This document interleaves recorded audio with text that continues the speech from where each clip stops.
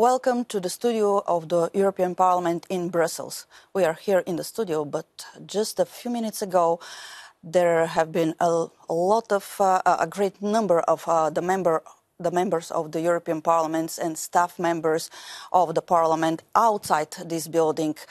Uh, protesting against the Russian invasion in Ukraine and expressing their solidarity to the Ukrainian people. This year group in the parliament, uh, which hosts this discussion and organized it, uh, has uh, has been very very very clear on these topics from the very beginning. ECR Group is uh, for sovereignty of people, nations, and countries.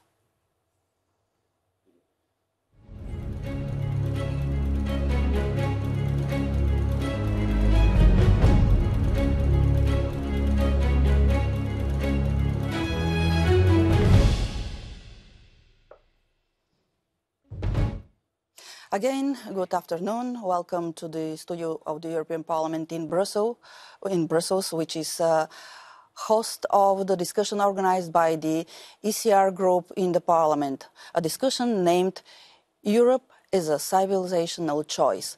Today's discussion is a part of a bigger campaign of the ECR, which, is, which has started in December 2020 in Warsaw and reached Sofia, Zagreb, Bucharest, The Hague, Stockholm, Vilnius, and Madrid in 2021. Now it's time to talk about uh, Europe's future regarding the cooperation with our neighbors. For that purpose, the ECR is creating the initiative to engage experts and partners in our neighborhood to discuss about the future in two events during March uh, 2022. The one today and tomorrow will uh, verse on uh, the Eastern Partnership and uh, later on this, uh, this month, uh, on 29th and 30th uh, of March, we will talk about the Western Balkans. ECR believe the future of Europe is not only the future of the European Union itself, but future of the whole Europe, including Eastern Partnership. This discussion is uh, particularly relevant now in the context of the war in Ukraine and in the context of the Kiev's call for an urgent special procedure to, for EU accession. I'm Milena Milutinova, Brussels One uh, show host uh, on Bulgaria On Air TV, and uh, I will moderate this discussion. Now I give the floor to MEP Zdzislaw uh, Krasnodebski, president of the ECR Institutional Policy Working Group, to open the discussion. Mr. Krasnodebski, you have the floor. Yeah, thank you. Thank you. Thank you very much. Uh, good afternoon, ladies and gentlemen. Thank you for being with us today to discuss Europe's future in this crucial and very dramatic moment of our con continent. Uh, and our continent is going through this uh, in recent days, what actually nobody expected. Uh, um, I am sure that the European public, uh, following our campaign Europe's Future New Hope, is already familiar with our vision of the future of Europe. Secure borders, safe uh, citizens, sovereign member states, realistic climate protection, doing less, doing better, are some of our main watchwords we want now to promote also in the countries aspiring uh, into EU membership or closer integration with the European Union, like those from Eastern Partnership region. We also used to this opportunity to show to the members of European Union that Europe is not only limited to the EU, nor should be these two terms treated as synonymous. With the dramatic event going on this very moment in Ukraine, our approach finds in bitter confirmation um, in reality. The future of Europe uh, is currently at stake not only in Berlin, Paris, and Brussels, it is today much more at the stake and outskirts of Kiev, on the streets of Donetsk or Kharkiv, and in so many other cities, towns, and villages all across Ukraine. Our event was supposed to discuss long-term prospect of the EU integration of the region, but the events of the last days accelerated the course of history to the extent that it still remains difficult to predict. We should nevertheless remain ready for new possible scenarios, including much more quicker EU accession of some countries than in, had uh, been widely believed before the open and brutal Russian aggression on the Ukraine neighbor. And I must say that ECR always uh, supported this uh, integration. Today and tomorrow, we will discuss Europe as fundamental choice of civilization from the eastern neighbors of the EU. Recognize expert, experienced decision makers from the Eastern European, Eastern Partnership region, together with our MEPs, we will try to answer the questions related to the current state of play and possible future developments, mostly in Ukraine, but also in Belarus, Moldavia, Georgia, Armenia, and Azerbaijan. We will have two uh, panel discussion. The first one trying to carry out a general assessment of the EU policies in the region in the recent years and their influence on solving the existing problems there. And the second panel will address a broad questions of long-term impact of the ongoing processes on the integration of the eastern neighborhood countries with the EU. Overall, the speaker will try to define the role that the Eastern Partnership countries are supposed to, to and will play for and in the future of Europe. Thank you. Thank you very much, uh, Mr. Krasnodebski. Uh, now let me introduce you my uh, guests uh, in the studio. Uh, Professor uh, Richard Legutko, co-chairman of the ECR group, and our keynote speakers, Mr. Georgi Barbamidze, Baramidze, uh, former Vice Prime Minister of Georgia and State Minister for Euro-Atlantic integration between 2004 and 2012. He's uh, on remote connection. Uh, and uh, Ms. Anna Fotyga, MEP, member of the European Parliament, ECR Group, ECR co coordinator of the European Parliament Foreign Affairs Committee and former Minister of Foreign Affairs in Poland. Welcome to, to our studio. Now, uh, let me give the floor to Mr. Legutko for his opening words, and uh, then I will include in our conversation the other speakers. Mr. Legutko. Thank you so much. Uh, well, we talk about uh, united Europe, but Europe is, of course, also divided, and there are many divisions uh, uh in Europe, Europe and EU. One of of uh, divisions is between West and East, and the Eastern countries were joining the EU as junior partners, so to speak, or apprentices. It was the role uh, they chose in a way but at the same time was given to them. Uh, and it was also embodied in the existing procedure, for instance, in the voting system in the Council. And the system adopted in Lisbon decreased the voting power of Eastern Europe when compared to the Nice uh, uh, system functioning earlier. But this is just an example. Uh, but uh, I think that the time of apprenticeship is long past and a lot should change and a lot uh, will change. Also in view of the crisis of the political leadership of the uh, the western countries the recent de developments in in in ukraine and russia have proved beyond doubt that this leadership has failed.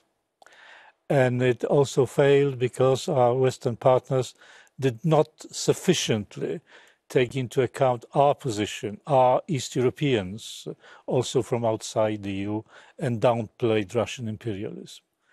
I think the time has come when the East uh, should have more to say and will have more to say. And this is uh, uh, actually the ECR uh, uh, position. And the ECR managed to form a good alliance between West and East, between those parties from Western Europe uh, and the like-minded parties from Eastern Europe, an alliance of close cooperation, but not centralization. With a centralized Europe, the, the eastern wing of Europe, again, Europe, not only European Union, will have less and less to say, and, and the Western wing more and more. And it is in our interest that, that, that we have the EU as a family of nation states, not as a super state. And again, let me repeat, this is our position, the position of the ECR. Thank you very much, uh, Mr. Legutko. Uh, we'll come back to you, uh, but uh, let us uh, include in uh, our conversation Mr. Baramidze because he's traveling from Poland to Ukraine. Is that right, Mr. Baramidze?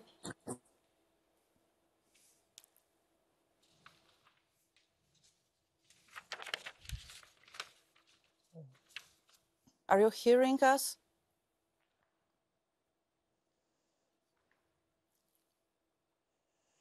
there's no good connection in the moment. Uh, uh let's uh, let's try to improve the connection. In the meantime, uh, Mr. Legutko, what what uh, uh, can the ECR group in the parliament can do about all these things you, you described just now? Uh, well, we've been we've been very active. For one thing, we've uh, launched this uh, multi-layer conference about the new arrangement in Europe. And we also have been very active in uh, our friends from the East outside uh, mm, the, the, European Union, our friends from, from Ukraine, right, from uh, uh from uh, uh, Georgia. And I think it is in a vital interest that these links should be revitalized and and our our friends will be more involved uh, in what is going on in Europe. Mind you, the, the, the conflict in Europe nowadays is not only between uh, uh, those who want uh, the EU as a super state and those who want to have the EU as a family of nation states, but also is a cultural conflict. And uh, the cultural conflict between uh, uh, liberals and conservatives, uh, between uh, uh, Christians and not Christians, uh, between those who are faithful to Western traditions and those who, for whom the Europe started in 1968, and so on and so on. So th these are the, the problems that we are facing. Thank you very much, uh, Mr. Legutko. Uh, let's use uh, the moment uh, we have a good connection with uh, Mr. Baramidze. Uh, can you hear us, Mr. Baramidze? Yes, I do. Yes, I do. Hi. Welcome to our program. Please tell us, where are you now? You're traveling with a bus, as we can see. Yes, yes, I'm in the bus on my way from a Polish border to the Lviv and um, I have evacuated uh, children from Krakow airport. Thank you for Polish government doing everything, uh, helping Ukrainian uh, refugees. Thank you for talking about our European future. It's so acute issue. So, and um, I, as a former minister and um, former defense minister, uh, and the Georgian uh, private citizen, felt obliged to be um, together with my Ukrainian friends. Uh, we are today, I believe, um, I'm expressing everybody's feelings t- today. We are all I- Ukrainians. Today, uh, future of uh, Europe and especially uh, Eastern Eastern European flank of Europe, Eastern Europe is uh, being decided um, uh, in uh, Ukraine, and I think not only European future but entire world civilized order. Now we are facing brutal aggression again of the Putin's Russia. Uh, starting uh, not from Putin, but uh, from even Yeltsin's time, 1992, 93, Georgia, Abkhazia, South Ossetia, then. And then after uh, uh, Putin came in power and with Medvedev in 2008. We all remember what happened in Georgia. Absolutely same scenario. Uh, Putin mm, try this time to repeat with um, uh, its uh, preparation of soft power, uh, using this propaganda, these all methods that tested, that been tested by Putin in Georgia. And unfortunately, then, in spite of warnings of President Saakashvili and our government and many of you, in, uh, including uh, uh, Minister Fotyga. We, we know many of you were telling other European leaders that we need to react in order to not to get a worse situation. Unfortunately, uh, uh, collective West did not react it, uh, properly, did not react it in a way that it was necessary to protect um, uh, Europe's uh, security. And uh, in 2008, we had Bucharest summit in NATO when it was a big failure of the leadership of Western countries, unfortunately, as you well know. And it was like mm, very controversial decision from one hand uh, giving Ukraine and Georgia um, affirmative guarantee that we will be member of NATO, but uh, another hand not giving us a chance to um, prepare for this and membership action plan. Uh, for, and also, um, when, when uh, I, as a, one of the negotiator of the uh, association agreement with the European Union uh, on, on behalf of Georgia, we were not gi given, uh, together with Ukraine and Moldova, even the perspective to be uh, one day in European Union. So this was a yet a, another uh, mistake of European Union. We are Europeans. Nobody is doubting this. But for some reason, then European leaders didn't let us to acknowledge in the uh, um, agreement that we are Europeans and we have a full-fledged right to submit to the membership and uh, we might have a perspective, even perspective. We talked about perspective. Even uh, about this, this was, uh, this was a kind of problem. And all these uh, um, um uh, things happened uh, because some leaders wanted to constantly look not to the eyes of the people, not to the eyes of the sovereign nations, but to the eyes of the Putin. And uh, acting not uh, according to the principles and uh, our common European values, but according to the uh, uh, fear, what fear were uh, dictating them. But as we know, if you are,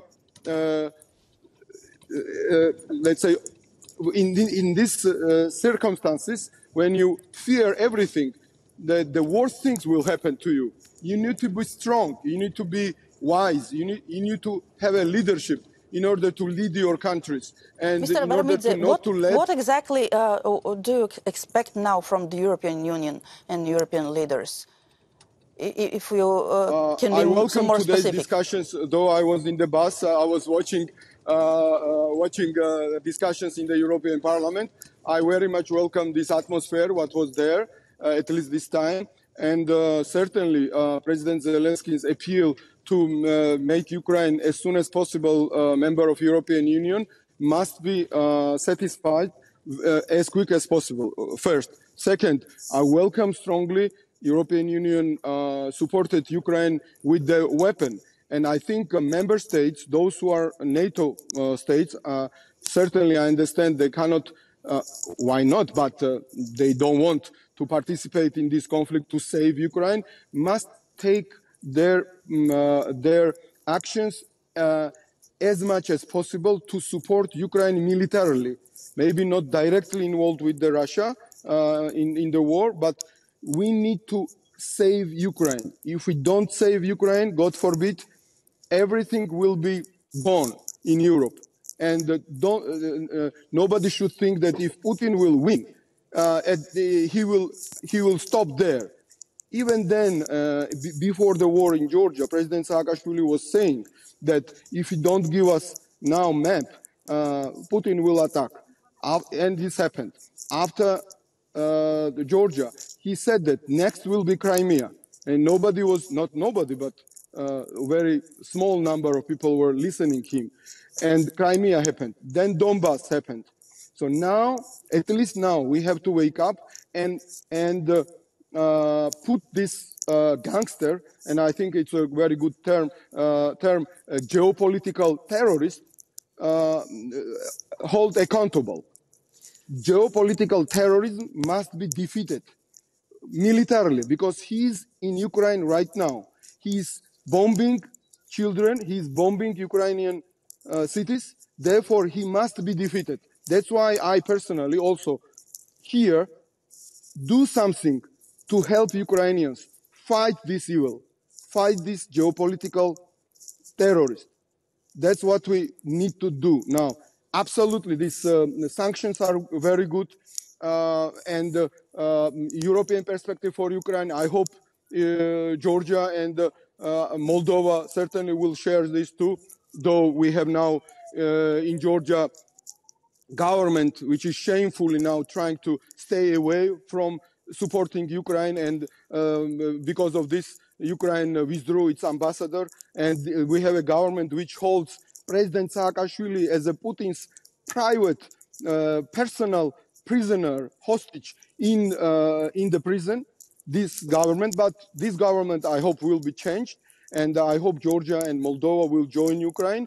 Um, but at this time all of us Europeans must help Ukraine to survive physically. And we have to do everything to let Ukraine win this war, not less, not more. Thank you very much, uh, Mr. Baramidze. We'll come back to you. Stay on the line, please, uh, if possible, uh, during your travel. Uh, but let's go now to uh, Ms. Fotyga. Ms. Uh, what are your thoughts listening to what just Mr. Baramidze said? and you professionally was have been has been very involved with the Polish process of EU accession. Right, there is a big change from those times and nowadays, right? Well, of course, there is big change, but let me first reflect on, on Ukraine and Georgia. and I am very happy to see a prominent uh, Georgian former uh, deputy prime minister Baramidze so much involved in in Ukrainian issues, uh, assisting uh, so effectively um, Ukrainian people and and speaking, staying outspoken. I, am aware of of uh, position, official position of the Georgian government, but I'm also very much aware about massive protests in uh, Tbilisi, uh, of uh, position of the third uh, president of Georgia, Mikhail Saakashvili, and many others. I think that future Georgia is yours, uh, and your future is uh, Western direction. So I'm very much sure that together with Ukraine, also Georgia and Moldova, to, to, to join Mr. Baramidze is uh, to be much closer to collective West by, by Western institutions. When we think about Europe of EU, if you wish, and understand that uh, Europe is a cradle of, collect- of collective West, of Western civilization, Western culture. Therefore, what happens on our uh, eastern borders is uh, extremely important for future of whole civilization. Actually, I myself, uh, already during time of, of Smolensk, immediately after Smolensk catastrophe, pledged to myself that first and foremost, I'll do my best to, to cooperate with uh, all that, that wish to bring our Eastern neighbors closer to us. They are part of, of Western culture. Surely Georgia is, and Ukraine naturally as well. Yes, you are right, Prime Minister. Today, all of us, we are Ukrainians. And actually, in the first hours of, of this six days war, already six days, I was convinced about Ukraine winning, Ukrainians winning this war.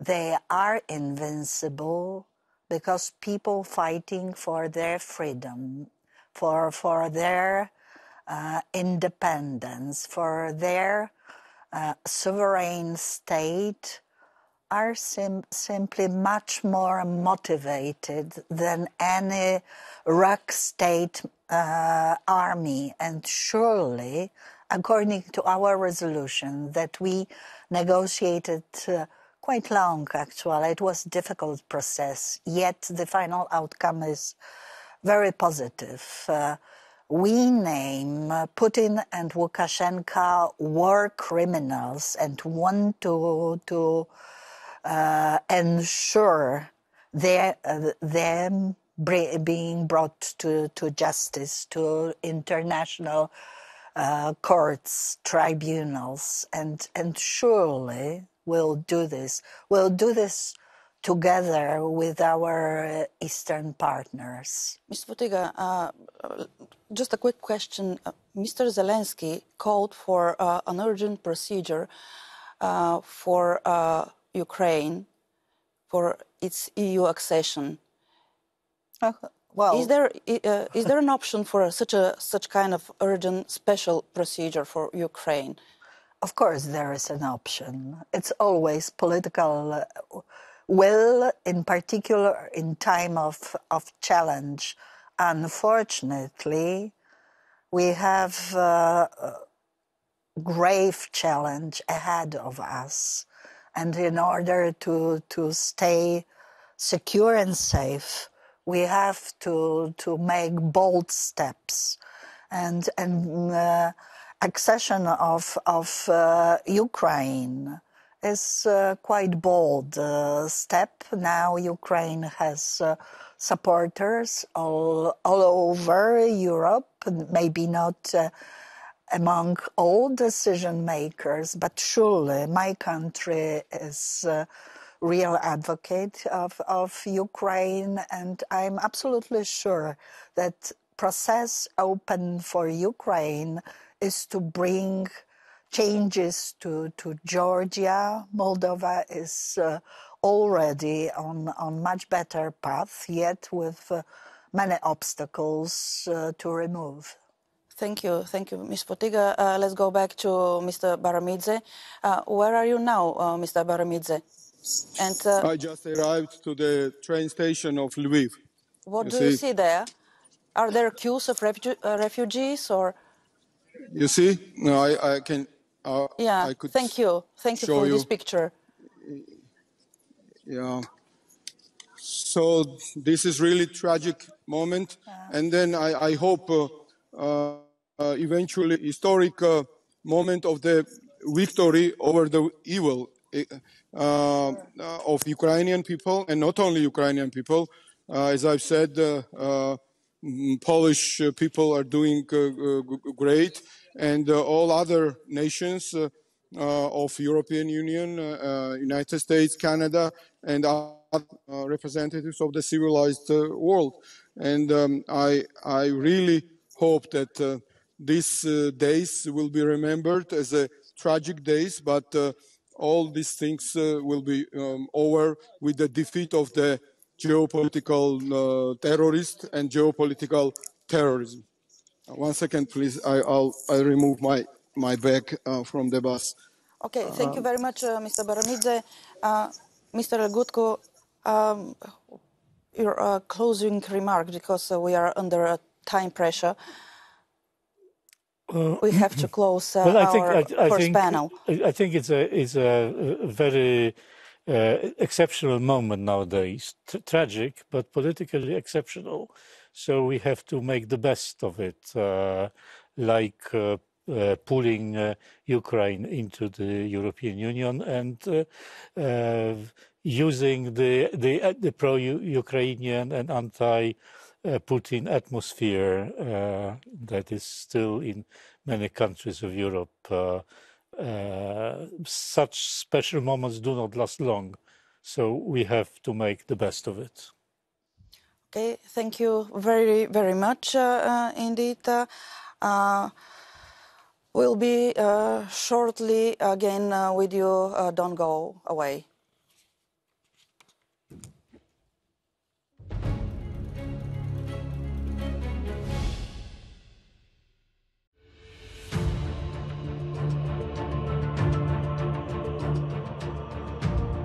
Varmt välkomna till Stockholm och SCR-gruppens turné för framtidens Europa. We started this ECR vision of Europe's future already six months ago. And we did it with one intention. Make sure that every citizen of each member state knows that there is an alternative future for European Union.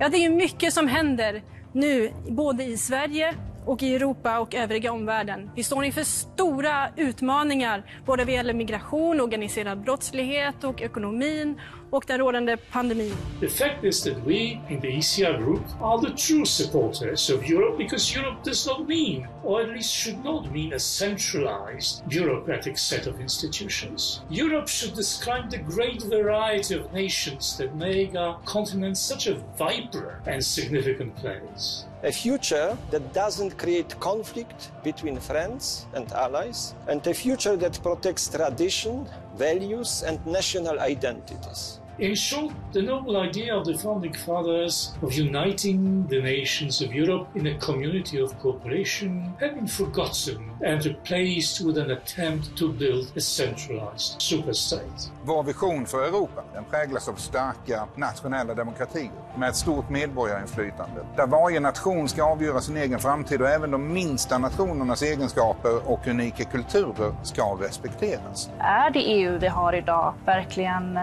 så demokratiskt som man vill att det ska vara? That the diversity of opinions, for example, is one of our continent's greatest strengths. But we see little spaces for free speech of different points of view in many of the big debates in Brussels. A Europe that is not listening to its citizens cannot be strong, not inside Europe itself and also not internationally. Verder is denk ik nodig dat we het takenpakket van de Europese Unie heel goed afbaken. De Europese Unie moet zich alleen bezighouden met grensoverschrijdende onderwerpen, bijvoorbeeld handel en migratie. Inom eh, invandringsområdet där vi definitivt ska bestämma det eh, själva hemma i vårt land, vad vi klarar av och vad vi inte klarar av. Så att nej, jag, jag ser, eh, alltså det, det går på fel håll. Man har stora ambitioner och den konservativa rösten den behövs mer än någonsin. Och... So in this would be the first one I would say, the EU needs to come with a plan to stop not only on documents but in reality with actions to stop the human smugglers, to have negotiated a return policy to third countries to stop the boats from departing. Och där även de här mer vänsterliberala partierna ändå fick upp ögonen för att det finns en gräns för vad vi klarar. Vi har ju sagt det länge. Sen förstår jag att vi behöver ha samarbeten eftersom vi ändå har en yttre gräns och så. Jag tycker det är viktigt att vi gör gemensam sak för att, att hålla den gränsen. Vi ser ju samarbetet i Europa som självklart. Samarbeta kring handel, samarbeta kring eh, miljöproblem som ju inte känner några gränser. Det är svårt att bekämpa miljöproblem bara i ett enskilt mm. land. Eh, internationellt organiserad brottslighet är också en sån sak där vi måste samarbeta och där EU fyller en funktion. Kriminaliteten som tyvärr ökar för oss nu mycket tack vare, eller tack vare på grund av att vi har den fria rörligheten inom EU och bristande gränskontroller. Och det här har ju gjort att vi ser en ökad eh, gränsöverskridande kriminalitet i Sverige, vapensmuggling och så vidare. Och även tullen har ju en väldigt viktig roll som skulle kunna göra mycket mer än vad de kan göra idag. Man låser sitt hem om natten därför att man hatar alla människor som finns utanför ens hem. Man låser sitt hem om natten därför att man älskar sitt hem, framförallt därför att man älskar älskar de människor som finns inuti det här hemmet. Lösningen är, är att vi alla tar ansvar som nationer genom att stärka våra respektive länders eh, rättsväsenden och använda det som en utgångspunkt för samarbete. Vi behöver ju vrida hela EU-projektet tillbaka till grunderna och grunderna är ju egentligen den inre marknaden, fri handel, fri rörlighet av, av eh, varor och tjänster och kapital och så vidare. Det, det är liksom grunden. Europas länder har hittills haft ett bra samarbete sinsemellan utan överstatlighet och utan att Bryssel har lagt sig i. Varför ska vi gå ifrån ett fungerande koncept genom att ge mer makt och centralisering till EU? Our idea is to stimulate a new debate, to offer a new hope for Europe, to discuss ways we can put our national democracies back at the heart of the European idea.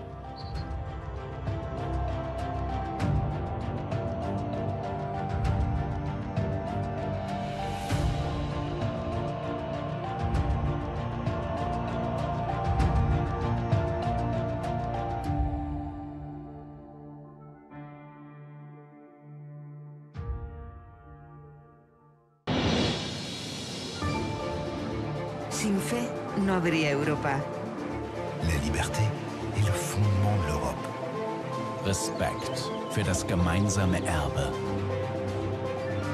Tradition binds our continent.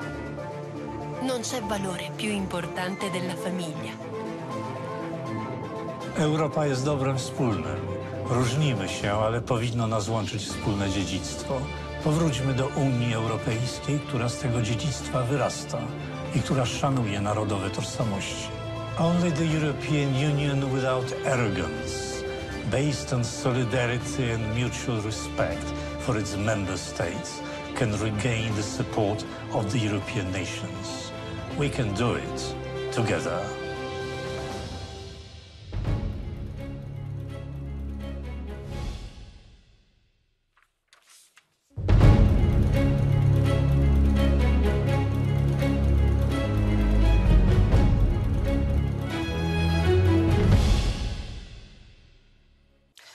Welcome to our next uh, panel discussion. What can the European Union offer to the Eastern neighborhood countries?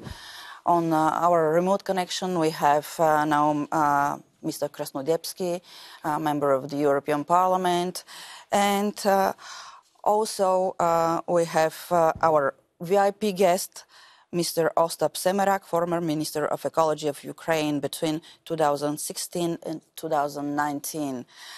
Uh, actually, uh, Mr. Semerak uh, was meant initially to talk about the energy policy, but sin, since um, under the circumstances, under the events that happened in uh, Ukraine after the Russian invasion.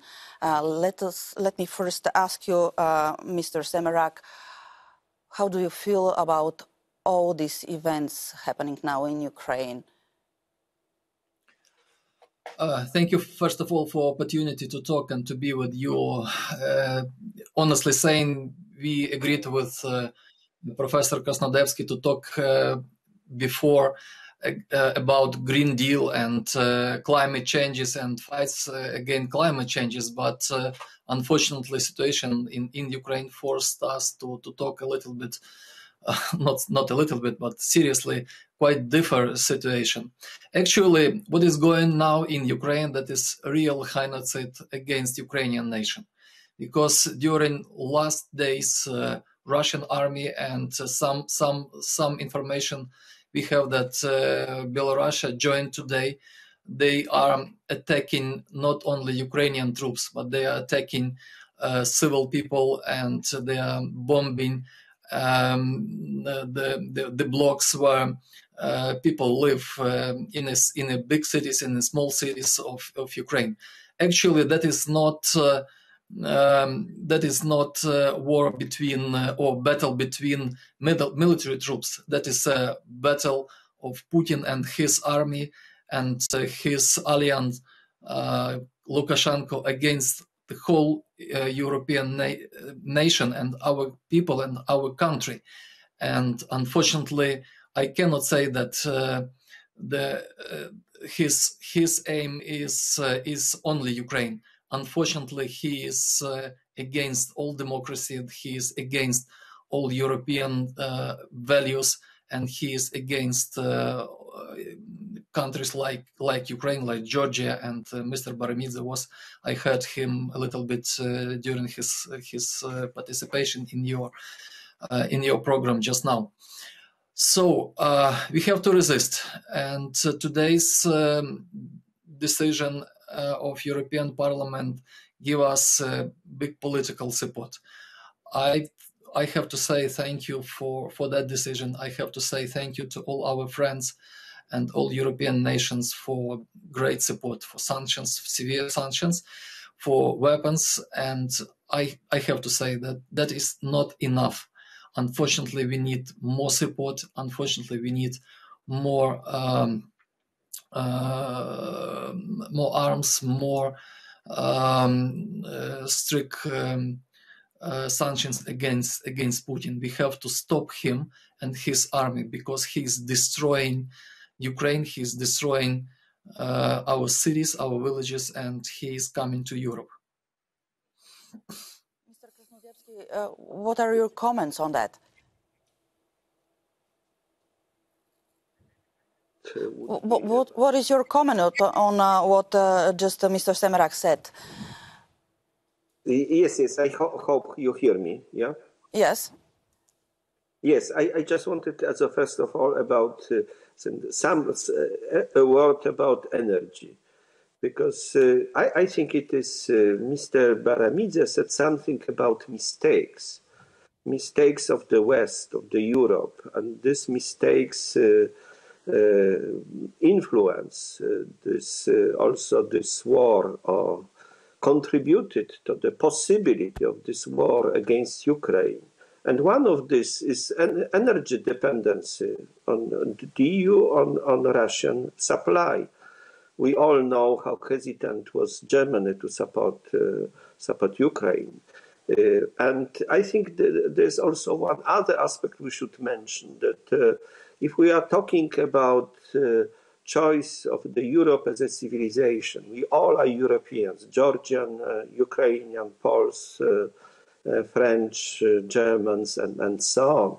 And we uh, we know what is a different civilization in which there is no respect for fundamental human rights and for human dignity and, and so on. And I think Ukrainian people, Polish people, and the other who had a who had the possibility to uh, to uh, to have a contacts with uh, with Russians, with different forms of Russian despotism, with communism, but also with the Tsarist Russia. We know that it is a different kind of civilization. We hope, of course, that Russia can can can change. Yeah, but it didn't change. But on the other hand, we had all, we had always, and this was our also our discussion in ECR group during this uh, many conferences we organized. we have a crisis in Europe. Also, a crisis concerning uh, our values and our civilization. And uh, I hope also, because I totally agree with my Ukrainian colleague that uh, that it is not this is not only war between Ukraine and Russia. This is not only aggression Russia against Ukraine. As actually, Ukrainians fight now for all of us. Yeah, uh, we know that uh, probably we could be the next. Uh, Kiev is now attacked, maybe if with is uh, defended with bravery and uh, and I think what our Ukrainians now doing is actually can help Europe to overcome this uh, spiritual or cultural crisis and to uh, to remind or to remember what are the basic values of European civilization that we in the face of the of such a danger we have to to to fight we have to be courageous and we have to forget uh, some some problems which uh, uh, sometimes um, some uh, seems to be um, um, to have a priority, but they, they, are, they are actually sec secondary. So I think the, this is an occasion for political change also in, in Europe. And uh, I can promise also that we will support our Ukrainian friends. Mr. Krasnodebski, uh, do you have a question to Mr. Semerak? Is there anything specific you, you want to ask him? Yes, yes. I just wanted to say, if you if you you say that, in which way can we can we help you now now in the and also in long term in in order to uh, to fight against this, uh, this aggression and then in, the future to develop your country. Thank you for that question. Um, actually, we need to resist, and the question of our resistance that is the question of uh, supply of our society and our army. And um, countries of European Union already decided to send um, arms to to Ukraine, and uh, that is that is good decision. But we need uh, more, and um, unfortunately, we have um, we have very strong uh, press, and uh, unfortunately, we, we do not have um, clean or protected air because um, uh, when we are talking about arms, we have to talk about uh, closing of uh, of the air un, um, in in Ukraine, and um, we are talking. Our our leadership is talking with with NATO countries, with NATO leaders about this support because you know they are using rockets, they are using uh, ballistic rockets, uh, they are using aircrafts to attack uh, our cities from uh, Belarusian territory, territory, from Russian territory, and uh, you know half an hour ago. Uh, in Kiev, our TV center was attacked by rockets from from Russian um, aircrafts, and they they feel that they cannot um, uh, they cannot beat us on a land. So they are using air, and we have to to to, to get that that support of uh, closing Ukrainian air. Uh, when we are talking about uh, society and humanitarian uh, support, uh, actually in those cities that are on the east, um, there is very limited. Um, um, sources of uh, supply, of food supply, of uh, medical supply, supply, and uh, the, the, same the same crisis is coming to the central Ukraine. Now we have great support, but I guess we have to think about enlarging of it. Uh, thank that, you very much. The, that is that is for the short period, but uh, for the long period, that is as well good good part of the uh, of the question. And we think not only how to resist, but the question will be how to rebuild. And uh, actually, that that will be a great discussion and great uh, talk. I guess after after the stop of this war, after our win, and uh, I think that uh, that is absolutely understandable that Ukraine should be supported by uh, this big reconstruction and rebuilding. But let firstly win this that war against uh, against Putin and against his uh, terrorists because what they are doing that is a terror against the civilian uh, people. Where are you now, Mr. Semerak? Uh, I'm not in Kiev. I'm not in Kiev. I'm on the on the western part, and uh, you know I'm traveling a little bit uh, because of the, some some reasons. How how safe is it uh, now in in the place uh, you are situated now? Is it safe enough? I yeah, I, I hope yes. Thank you.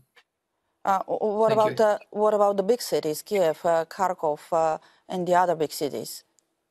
I'm on a I'm on a phone contact with my friends uh, in a in a Kiev. Uh, just talk uh, one hour before our conversation, and uh, they they told me that it was absolutely in that moment of the time uh, quiet air.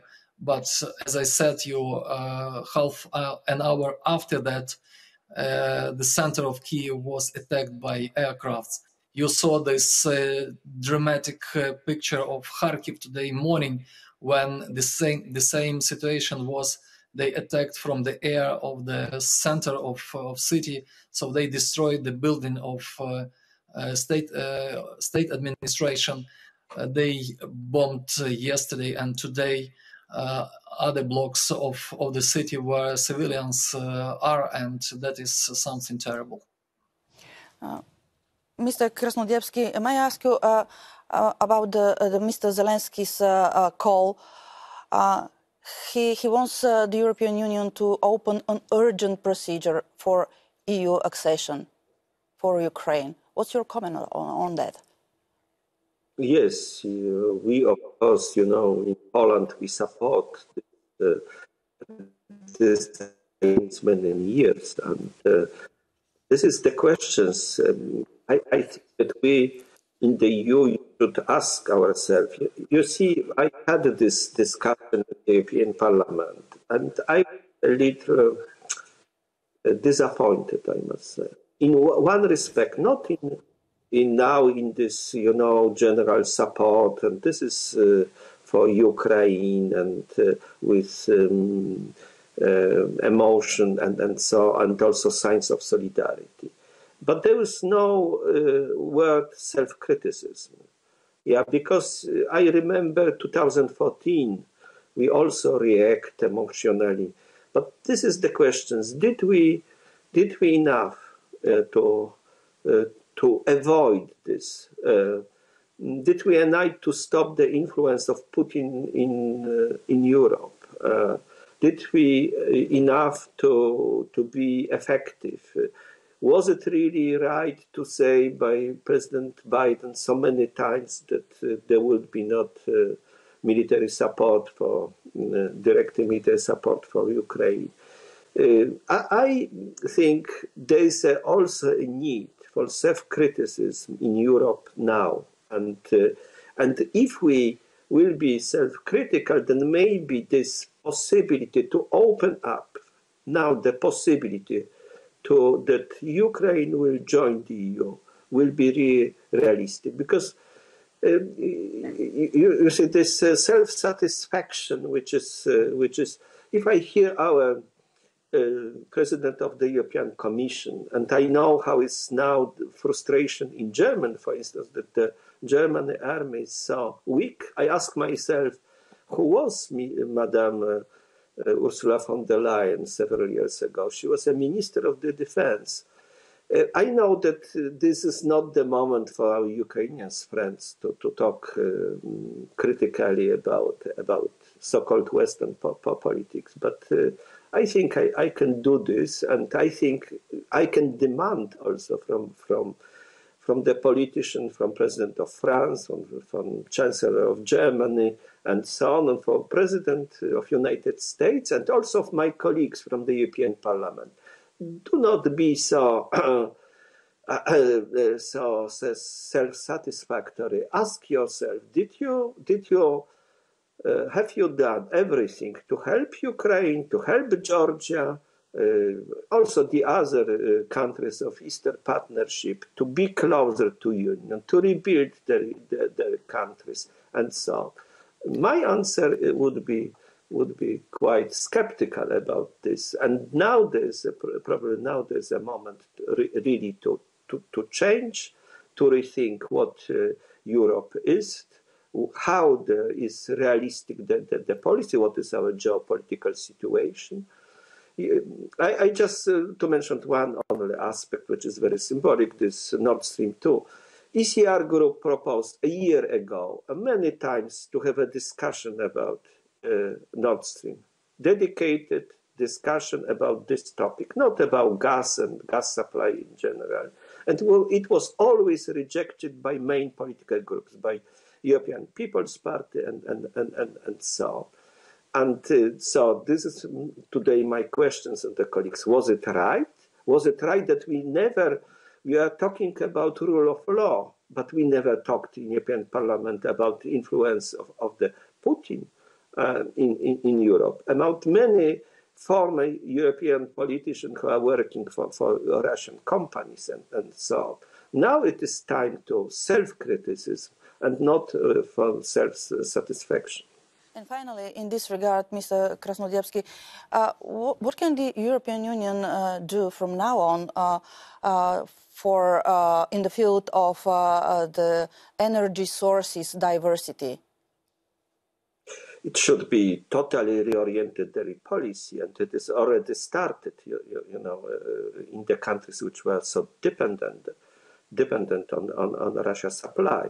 Uh, but uh, there's the questions not only not to, to, to, to stop the Nord Stream uh, uh, 2, but also to resign of Nord Stream, Nord Stream 1. We have to rethink our policy. We have to strengthen our military, and we have to help with equipment our uh, our uh, um, friends in, in, in Ukraine, Ukraine army, support them, uh, because as I said, they fight for us, and uh, so and it should be the, the swift this uh, SWIFT system, uh, this um, uh, exclusion of Russian should be not only limited to to, to, to, to, to, some banks, but it should be it should be general.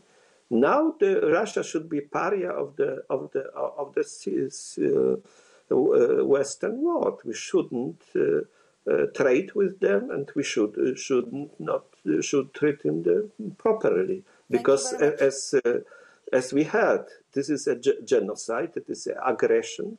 This aggression without any um, any uh, justification. Men, um, even more. It was. Uh, uh, if you if we refer to the speech by Mr. Putin, who, who actually uh, said that Ukraine has uh, have, have no right to, to to, to be a nation and and and, and the state. Yeah. Thank you very much. And this Thank is international law. Thank you very, very much, uh, Mr. Krasnodebski. Mr. Semerak, if you um, want to say some final words uh, because we are closing this panel, please go ahead. Yeah, I would, yeah, yeah.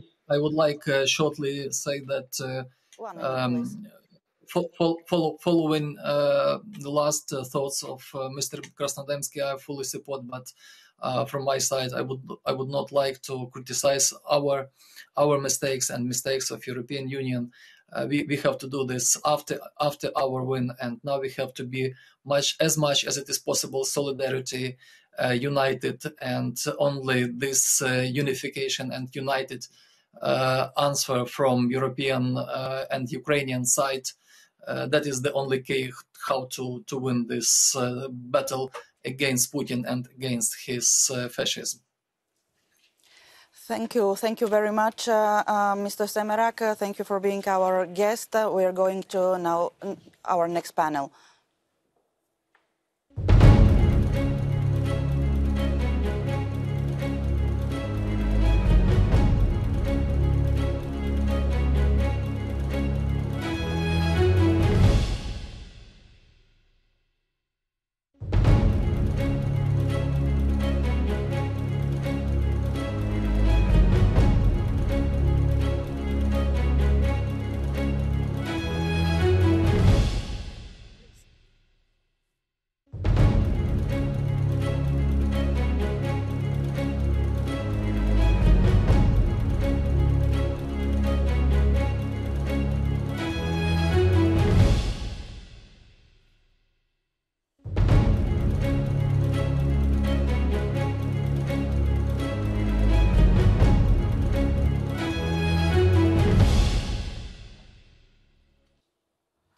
Welcome to our next panel. Uh, our guest in, in, the studio is uh, Mr. Uh, Witold Jastrzębski, chair of the European Parliament delegation to the EU-Ukraine Parliamentary Association Committee, and first vice chair of the European Parliament Committee on Foreign Affairs and former Minister of Foreign Affairs of Poland between 2015 and 2018.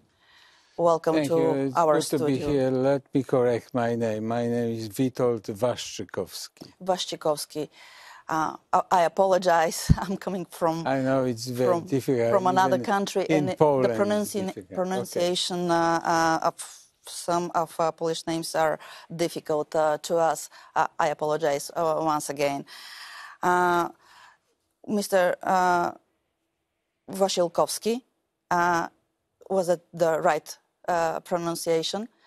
Would you would you like to, to make some remarks on uh, uh, on uh, the the discussion we just ended? Yes, for years we were discussing how to make Europe united, free, democratic, working together.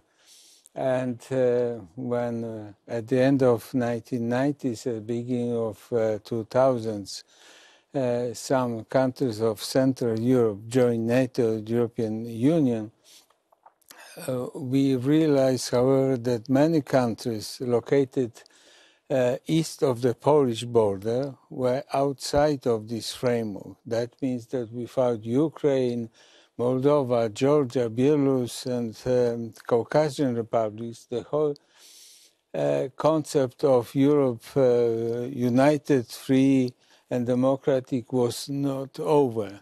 Uh, so we decided this, this started uh, some years ago to think how we can bring this country to European Union process of integration.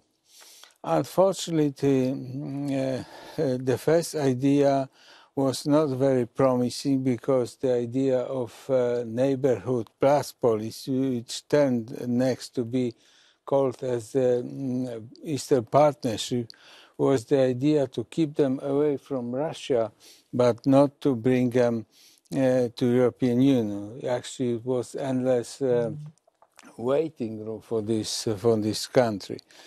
Uh, let me also remind you that uh, 2008, when we were hoping to grant the, some of these countries like Georgia and Ukraine membership action plan to NATO was uh, cancelled actually by our Western friends. That was the signal for Russia to attack uh, Georgia and, uh, and, give them and teach the lesson Georgia not to think even about further unification with the with the West. So now we we have to think under the pressure of the war how to unite uh, at least Ukraine, the biggest partner of the Partnership for Peace, uh, partnership, Eastern Partnership uh, program. And my idea is that, which I advocate for the last two years, that uh, there are some stages and we can bring uh, Ukraine closer and closer. First of all, we can open European Union initiative, which is called uh, Three Seas initiatives. This initiative relates to the security, mm, uh, energy security area, and um, will bring Ukraine to the network of uh, transportation in, in our part of, of Europe. Then we can open a sectoral policy of the European Union for, for Ukraine, but also think also that for other countries which are ready to join European Union, which is Georgia and Moldova. Why not? Then the next step we can open the agencies, European Union agencies for, for the Ukraine.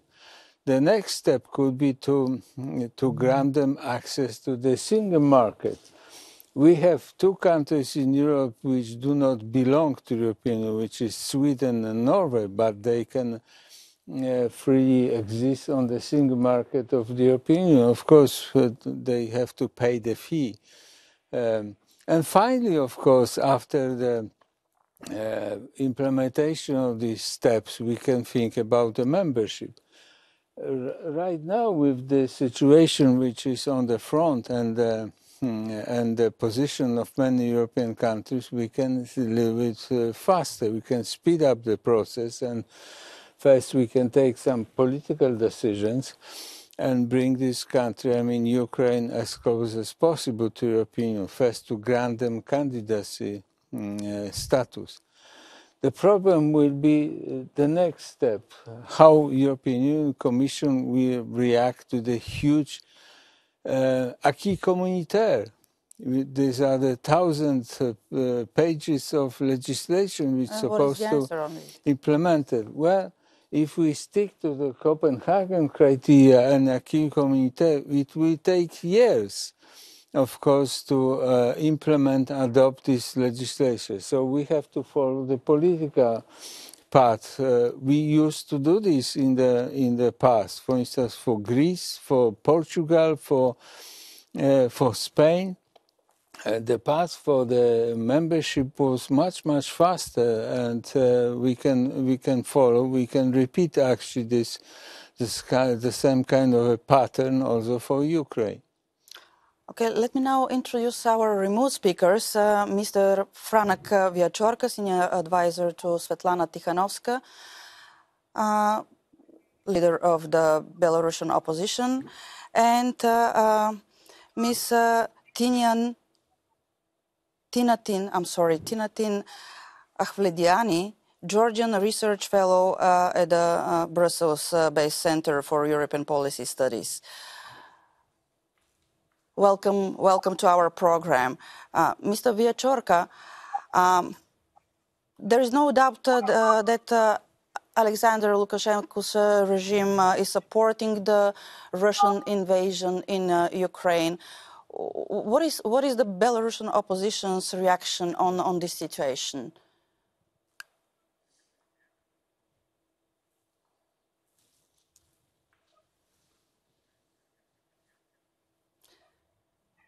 there is no sound. Uh, can you?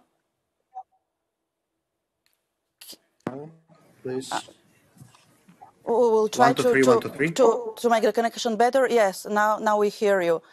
Uh, did you hear my okay, question, good. or uh, I'm supposed to repeat it? So I hope you hear me now, right? Yes, we are hearing yeah. you. Uh, please uh, Tell us, uh, uh, it's obvious that uh, there is uh, Lukashenko's regime is supporting uh, the Russian invasion in Ukraine. And what is the Belarusian opposition's opinion on reaction on, on that? Yeah, first of all, thank you for having me, and uh, let me greet you on behalf of Svetlana Tikhanovskaya and Belarusian people. It's evident that um, uh, Lukashenko's forces are joining Putin's forces in aggression against Ukraine. Uh, Russian um, uh, army is being served and aided by Lukashenko's um, uh, services. For example, air defense systems are helping um, missiles launches. We know that Belarusian um, airfields are used by Russian helicopters and warplanes. Um, also, Belarus hospitals are serving wounded Russian uh, soldiers. Also, we hear that uh, every hour the attack by Russian tanks can begin against Ukraine, and it will change many things. It will mean the direct attack of Belarus on, on Ukraine. And, and we as Belarus society, we are uh, fully um, uh, um, against it. Uh, we are trying to stop it, and we are trying to raise people for protest. Going now to uh, Tina Akhvlediani, Welcome to our program, Ms. Akhvlediani. Um, if we try to forget uh, for, uh, for a minute uh, the situation uh, in Ukraine, uh, could you tell us uh, some more about the, the ties between Georgia and the European Union, how they evolve over time, knowing that in your work you mainly focus on um, economic dimension of the Eastern Partnership? Sure. Can I go ahead? Yeah, please go ahead. No, thanks. Thanks for having me. And let me also like start noticing that seeing Veronica on the screen just makes me very happy seeing her safe. Let me also use this opportunity to send my warmest greetings to my friends and colleagues in Kiev and all over the Ukraine. Um, now, indeed, I am here speaking as a trade economist by training, but these region because it's very turbulent, um, you know, makes uh, other things uh, more pressing to discuss today. And uh, let me start, you know, by noticing that indeed we don't need to forget about Ukraine while we are speaking about Georgia. Instead, we have to acknowledge, as just uh, made here comments by you, that um, Eastern Partnership starts with the price that Georgia has paid back in 2008 by going in the war with Russia, just for the same reason as Ukraine is doing now, for choosing its future.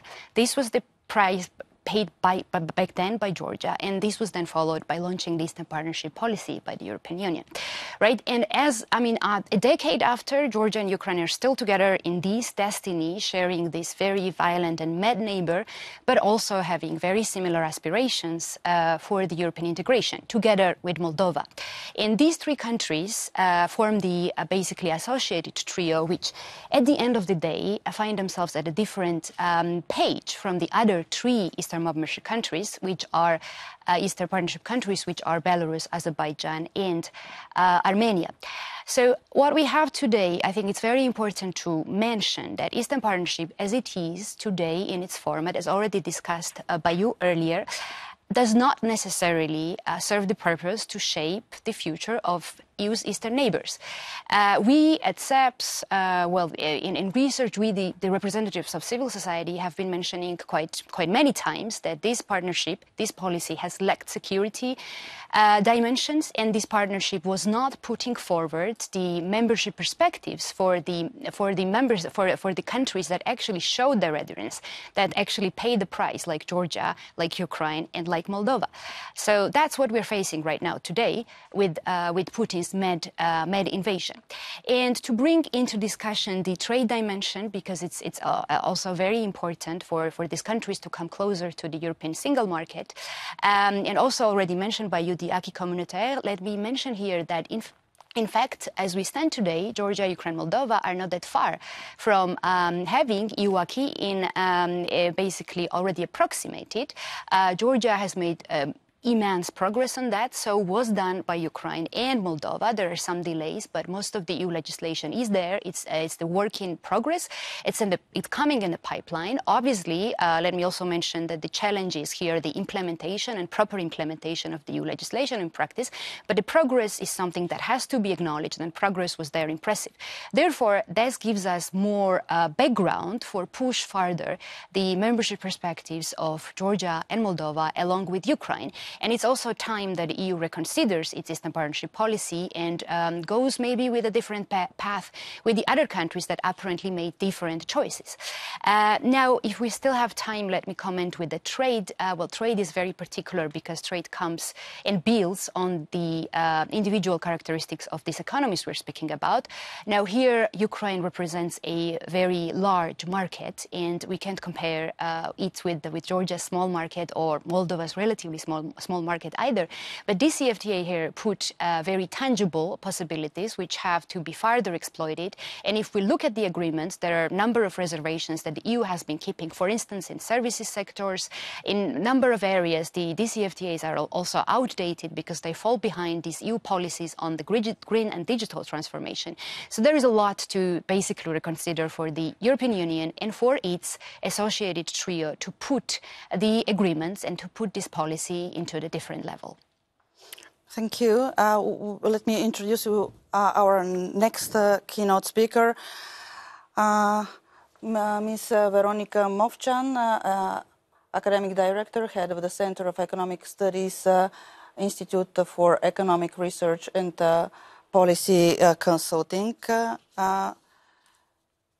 Ms. Movchan, to you, what can you add to, to all these uh, remarks you, you have heard. Okay, thank you very much. It's my great pleasure to be here today. And thank you, Tina, for, for, for your kind words. I'm also happy to see you and all the colleagues.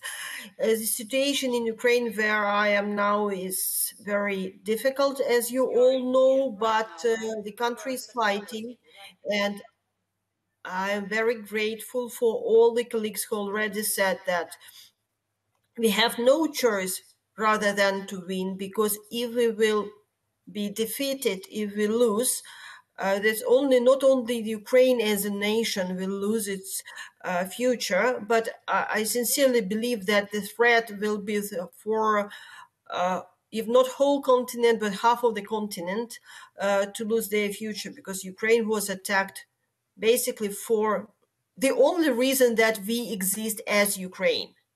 And we want to be a part of the European Union. We want to be democratic. We want uh, to be free and choose our future by ourselves.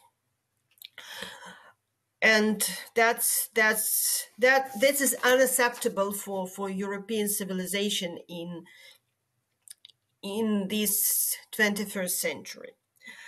So I'm very grateful for all our partners for what they are doing and trying to answer the question what is next and whether Ukraine can and uh, actually three also Georgia and Moldova can join the EU.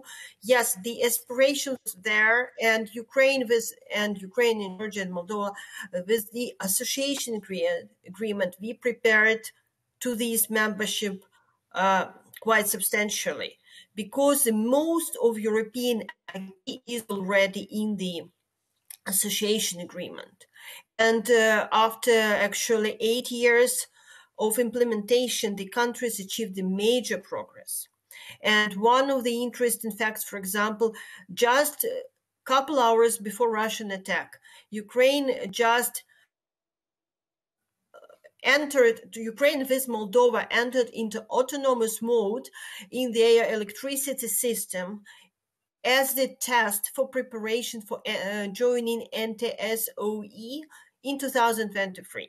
I know that EU is now considering uh, joining, bringing Ukraine to the European electricity system, electricity grid faster because Ukraine is definitely not going to rejoin the former, the Soviet Union, Russian, Belarusian grids anymore. It's, it's just, it became completely impossible after the war started. But basically this preparation is technical preparation but it preceded with huge legal work. And it's in many other areas the ukraine and two other three countries did a lot. What can eu do more? First i once again thank you for what you already did. The uh, opportunity for ukraine to become a candidate country is a real like uh, huge moral, not only moral support for the whole country who is fighting now in a very hard fight with uh, Russia. Uh, we definitely, as a basic need now, Ukraine needs weapons. It needs uh, uh, any any military help is possible, and also if it's possible to somehow shield the sky, it would be great because the uh, bombing is ongoing. And regretfully, if first days it was indeed bombing of the infrastructure, military infrastructure like airports, like military bases. Now it's a bombing of uh, civilians. We already have a uh, situation that the maternity hospital was built uh, in Kiev was bombed, and children mothers were, built, uh, were killed. We have uh, we have bombings of just it's it's it's it's it's uh, it's it's called genocide. I don't know how to, to call it properly, but it's just killing people who are not fighters who are who never thought that uh, the country, neighboring country, could could potentially attack them. So we need military support. We regretfully need humanitarian support and uh, can be food, pharmaceuticals, uh, because despite Ukraine has been feeding so many millions people now with disrupted supplies, with factories starting to follow the military needs we, we need the uh, urgent supplies because everything is just disrupted. And we definitely need yes. to think about Please go ahead. Yeah. Uh, I just sanctions I just, against and then support. Okay, I just wanted to, to ask you. Uh, uh, just in short, if you can uh, make uh, uh a prognosis, what will be the outcome of uh, all this, and what about the people who are now in in uh, uh, Ukrainian capital in Kiev? Uh, uh are they uh, uh, intending to, to go out to to to try to to find a, a safe shelter? There are two types of people. One are in the shelters or at homes and hoping that nothing will like it will not be had but it's many many people and not only kiev who are preparing to fight and fight fiercely preparing molotov cocktails uh, building blocks on the roads doing everything to stop ukraine the issue that is not uh, the military man army ukrainian army is fighting the whole ukraine is fighting. So many people uh, including like uh, we have children uh, school boys who, who are in uh, in cyber doing cyber attacks or preparing these cocktails we have uh, women who are once again like in maidan they are preparing food and helping. The whole Ukraine is now trying to ensure supplies and support uh, each other. There is a nation fighting against the aggressor. And I'm sure we have no choice other than to win, because otherwise we will be killed one by one. Thank you. Thank you very much, uh, uh, Ms. Movchan. Uh, stay on the line, please. Uh, we have uh, uh, two more keynote speakers. Ms, Mr. Tevan Poghosyan from Armenia and Mr. Alexander Vondra, former Minister of Foreign Affairs, uh, Minister of Defense, and Deputy Prime Minister for European Affairs of the Czech Republic. Uh, uh, Mr. Vondra, first to you using uh, uh, and knowing your uh, high-level expertise in the field of foreign affairs policies and security policies. what is the perspective for all these countries within the Eastern Partnership for EU accession? Look, uh, I don't know. Uh, hello, good, good good afternoon, everybody. Uh, I don't know whether my uh, all life expertise uh, would uh, be here very helpful, because my ex- expertise is connected with the development in Europe and in the world right after the Cold War, and that was an era of two, maybe three decades when most of the players were respecting certain rules, uh, certain principles, certain values, and were acting accordingly. I, I am afraid that with this brutal, unprovoked attack and military aggression by Putin in Ukraine, what we see just now, that is gonna to change the world substantially and we will have to learn our expertise. That our expertise uh, from the past uh, maybe are not as much helpful. I was one of those who were at the beginning of the Eastern Partnership concept. It uh, was launched uh, in the spring 2009 during the Czech EU presidency, and in fact, uh, it was a materialization of an idea developed by the Polish, Czech, and Swedish diplomat since the summer 2008 as a direct response to two things. One was, as Witold has rightly mentioned, an inability of the NATO allies to agree on positively responding the request by Georgia and Ukraine for membership action plan simply there was enough, not enough support, uh, mostly among uh, the Western European countries. So it was pretty clear that the hard security guarantees would not be available for the countries, uh, for those two countries. And at the same time, in 2008, uh, EU has developed under the French presidency and French leadership the so-called Union for Mediterranean, to ship the money and resources into the south, you know, just logically, you know, to contain the emerging chaos there. And we in Central and Eastern Europe were afraid that uh, we would be lacking the resources, at least to provide a soft power support for the countries in between uh, the EU and NATO on one hand and Russia on the other hand. So these two uh, things has led us to fight for the Eastern Partnership concept.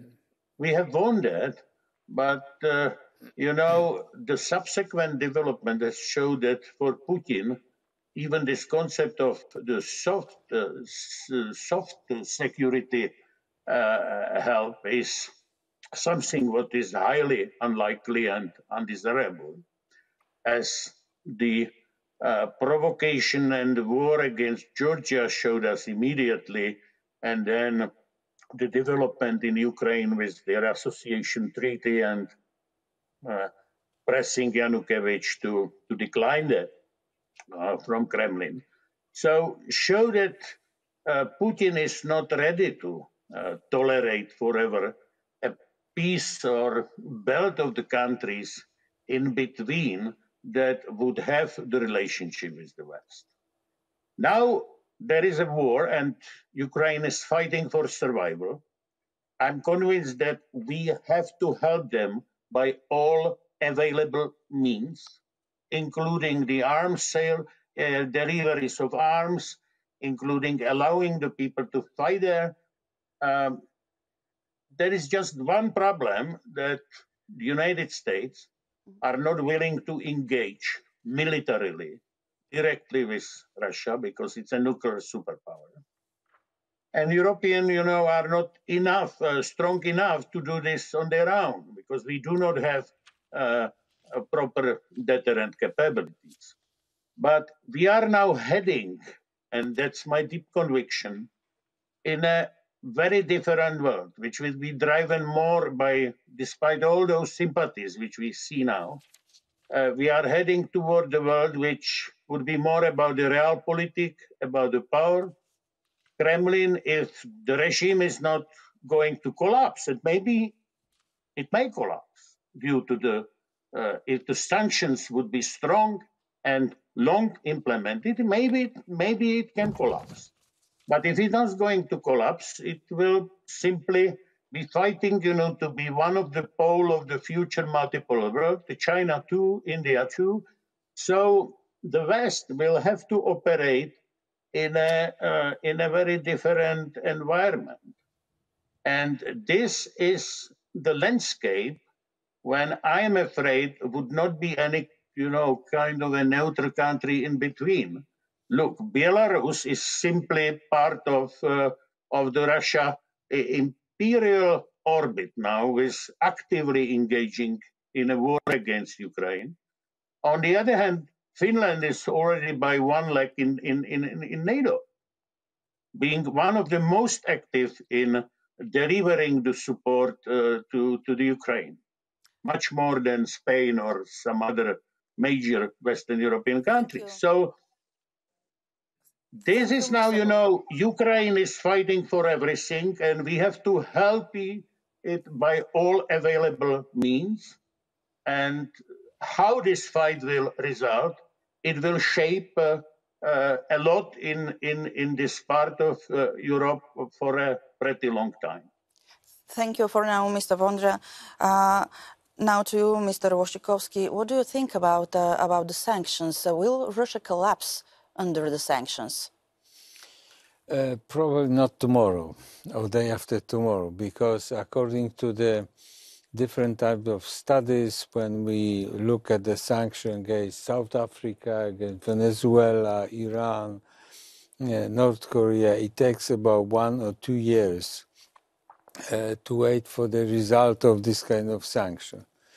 But uh, of course, it uh, could be a panic in in Russia, and there is uh, some kind of panic. People are uh, trying to get as much cash as possible.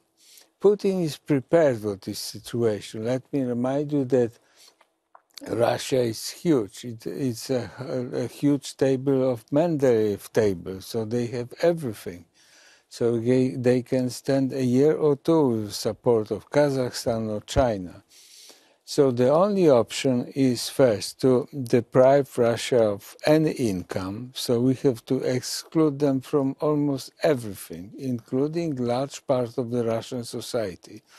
Large part of Russian society lives and benefit uh, from this imperialistic policy. Not only oligarchs, but also celebrities, culture people, and sports people.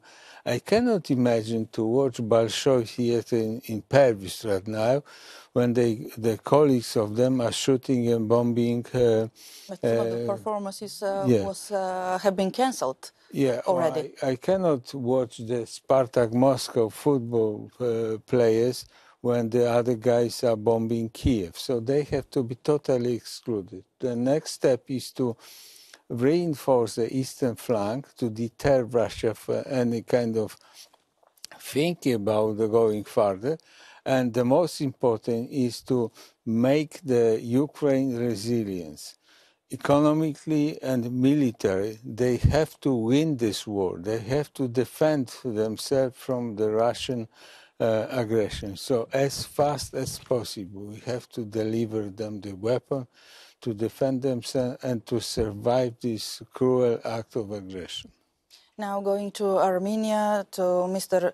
Tevan Poghosyan. Uh, welcome, Mr. Poghosyan. Uh, Mr. Poghosyan uh, is uh, leading the International Center for Human Development in Armenia. Uh, Mr. Poghosyan, uh, Armenia is probably the on, only the only uh, Eastern Partnership uh, country that doesn't perceive Russia as a threat uh, to its sovereignty. just the opposite. it perceives Russia the guarantor of uh, its security against uh, two neighbors, Azerbaijan and Turkey. Uh, did anything with the situation in Ukraine now with the war uh, that Russia started uh, in Ukraine uh, change something in this regard?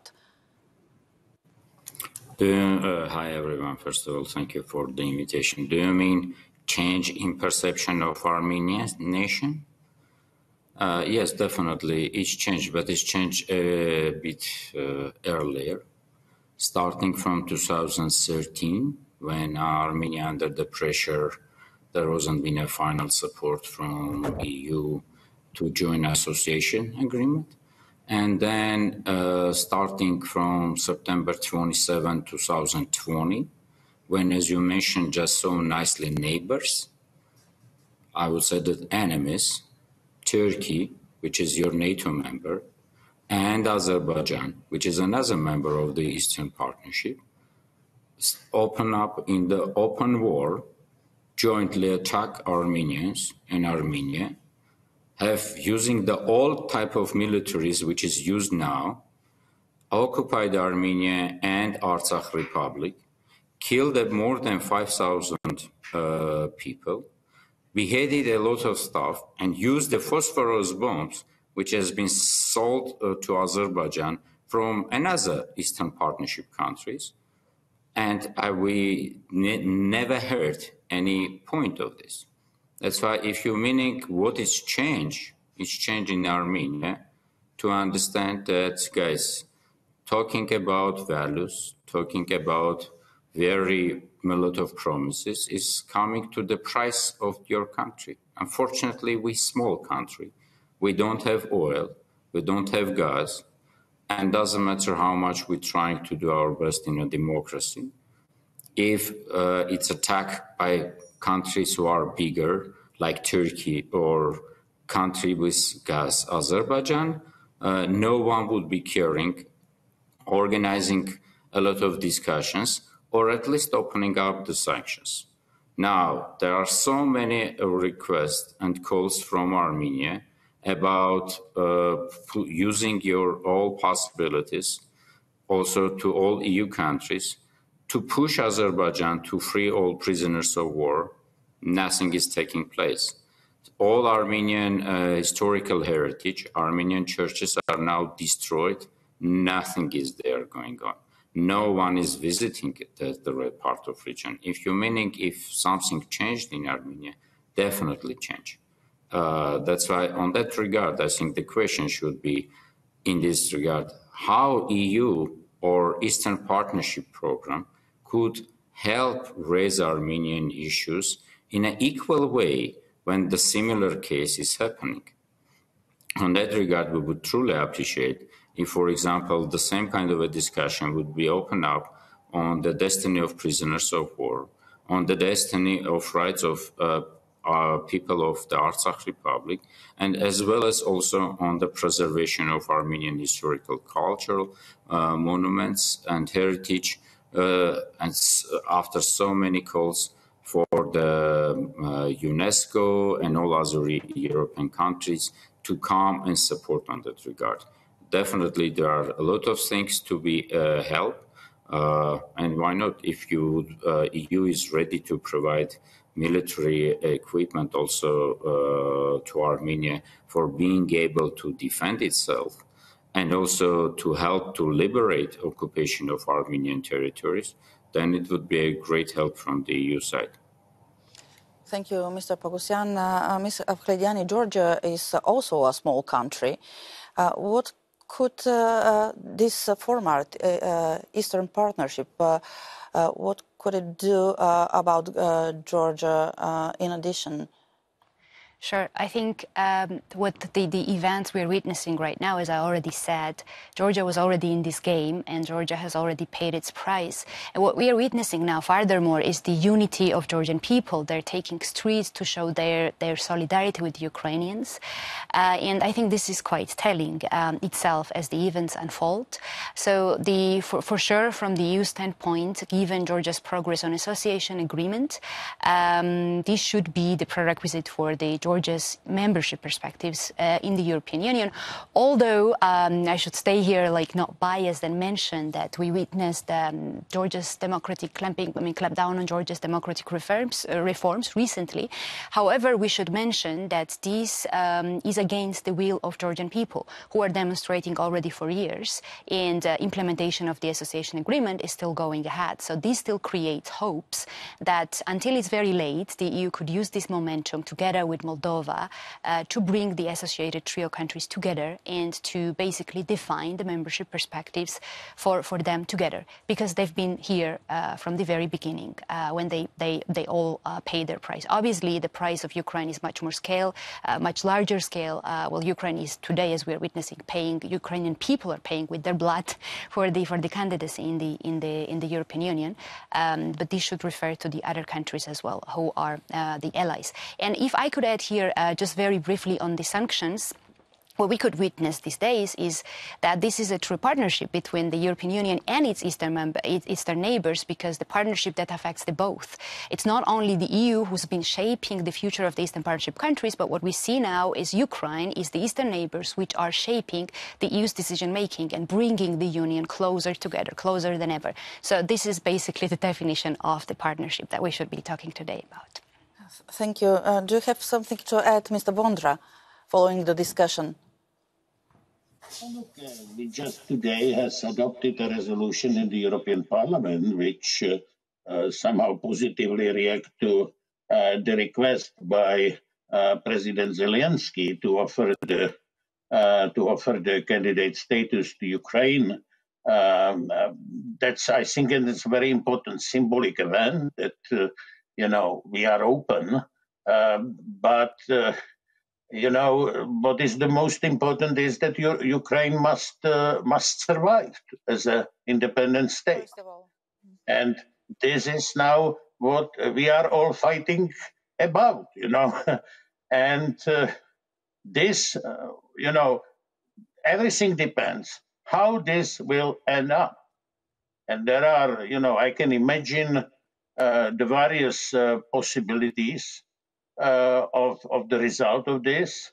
I also share the opinion of Witold that, you know, the, the immediate collapse of the Russian empire is rather unlikely in uh, the foreseeable uh, future, um, then you know the the, the the, the the dictate for all of us is to do everything that Ukraine would uh, survive as a sovereign independent state. And it will be very difficult because for those who are listening this Putin speech uh, last Monday, which framed the re- Rush of this his uh, aggression, uh, he has just one uh, goal to to uh, to to regain the Russian empire and he does not recognize Ukraine, neither as a state nor as a nation.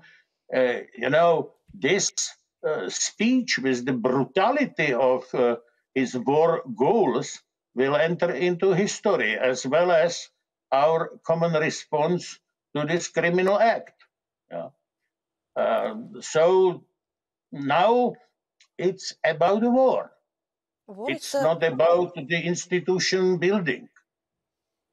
What is the threat for uh, whole European Union after the Russian invasion in Ukraine, Mr. Waszczykowski? Well, let me remind you that some years ago, Putin mentioned publicly that collapse of the Soviet Union was the biggest tragedy. in the history of Russia. This year he will celebrate 100 years of creation of the Soviet Union. So he wants to regain for Russia, of course, the, the power, the strength of the former Soviet Union. Now he is claiming not only to dominate the former Soviet republics like Belarus, Ukraine, or Kazakhstan, he is uh, asking, is claiming to dominate also in near abroad, in central part Let's, uh, let me remind you again that one of his um, ministers mentioned that uh, the process of NATO enlargement supposed to go back to 1997. So the countries like Poland supposed to, according to this wish and claim to become non-member of European, non-member of NATO, non-member of European Union without the deployment of the of the foreign troops, uh, NATO troops on the territory of the eastern flank. The next claim came yesterday about the nuclear posture. And let me remind you again that for several years, uh, Belarusian forces, together with Russian forces, during the Zapad maneuvers, they were exercising a military strike together with nuclear strike against Warsaw.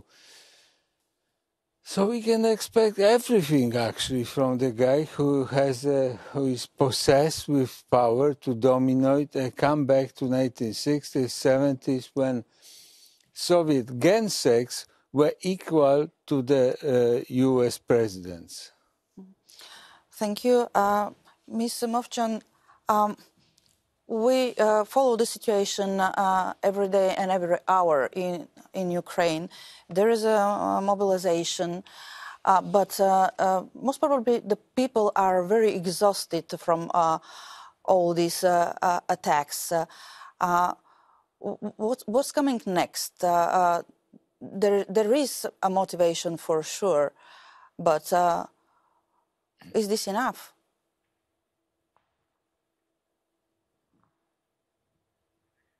We lost connection with Veronika Movchan. Is she back, uh, Miss Movchan? Uh, you can, you, you, are able to hear us. Uh, I was, yes. Uh, I was talking about the, the, the nowadays situation uh, in uh, uh, Kiev and uh, all the other uh, big cities in Ukraine. There is a mobilization uh, of the men's population, and they're very motivated to, to defend their cities and their country, as we see from the TV reports. what else? What else can, can you tell us? how would you describe the situation in this field? Yeah, but that, that's what uh, you said. That's absolutely correct. The uh, the mobilized uh, people, the army is very uh, motivated, but we also have territorial defense. That is the people who are not like suit for the army, who are not trained for the army. They are forming the uh, the forces to defend their communities of their cities in in large and small villages. And actually, it's not only these forces, we have a lot of volunteers who are supporting the army and doing the fights. I, and we have a lot of already very heroic stories that the people, just simple people, civilians without any weapon, uh, stopping the tanks by Molotov cocktails or like blocking the streets. So it's actually the whole country is is fighting, and it's very clear that it's a fight for for, for our survival. It's it's it's they they want us not to exist. They want to kill us. So it's it's it's no no other option than to fight. But and there uh, have been a negotiation. Uh, uh, there have been uh, peaceful negotiations uh, uh, yesterday what is your prognosis? How how do you uh, see the chances of these peace uh, talks? I don't think um, here I am economist, so it's my uh, more like personal opinion, but uh, I don't think that it's a clear like victor of any one of the party who that can make the uh, negotiations decisive. As far as I know, uh, Russia repeated the same or very similar claims that has existed that Ukraine has uh, to accept Crimea, has to accept Donbass and Lugansk in the uh, borders of oblast, so give up the territories controlled by Ukraine. Uh, Ukraine has to be demilitarized, Ukraine has to be federalized, etc. So Russia actually repeated uh, the same claims, basically the same claims it had before. It's uh, regretfully, it's not a peaceful talks. It's the same uh, claims we heard before war started. Are you going to stay in Kiev no matter what happens, or you you Uh, try to to find a, a, a safer way for you? Uh, yeah, basically now I'm already not in Kiev, uh, so I, I moved because of, of my family. Uh, but I know that a lot of my friends are still in Kiev. It's uh, we have, as I said, it was split. Some people will move, try to move, especially people with small children or old parents. They try to leave Kiev because they are not very helpful there. They only can be used as victims or somebody who can't be. Uh, threat but many people joined uh, also in our office people joined uh, the military force or territorial uh, security forces to defend kiev and uh, they are fighting. Others are fighting like uh, with uh, some cyber attacks who can do that or with volunteer support or finding helping people to find shelter. Actually, it's it's a lot of uh, process now in the country. We learned it a bit because we had already 2014. Then after Maidan, Russia attacked, and then Ukrainian army was completely unprepared for such an event.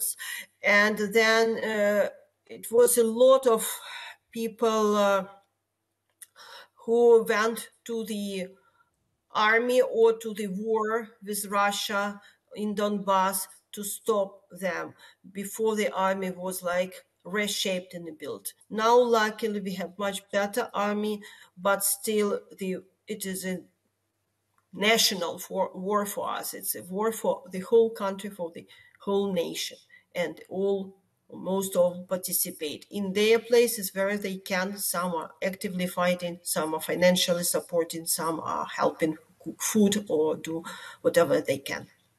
We are going now to uh, to the end of our program. Uh, what are your uh, final remarks uh, or your closing words? Uh, uh, let's start with you. Sure. Uh, I think the most important is now that we, we show our support to Ukrainian people who are bravely, bravely standing there, all the civilians, all the military, uh, the president and his excellent team. Um, so we extend our, our best wishes with them and we, we hope that Ukraine stands strong. Um, the other message goes to the European Union and to its Western allies to make sure they can do all to increase Ukraine's resilience, to sanction further Russia, whatever it costs uh, the Western allies to really sanction the uh, Putin and to sanction every revenue it still funds its military invasion of Ukraine. Thank you, Ms. Akhvlediani. Mr. Poghosyan?